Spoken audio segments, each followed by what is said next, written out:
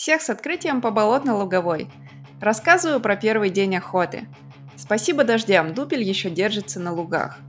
Утром подъем в 4.30, а в 5 часов уже начали охоту. Ветерка не было, и первые две работы получились не очень четкие.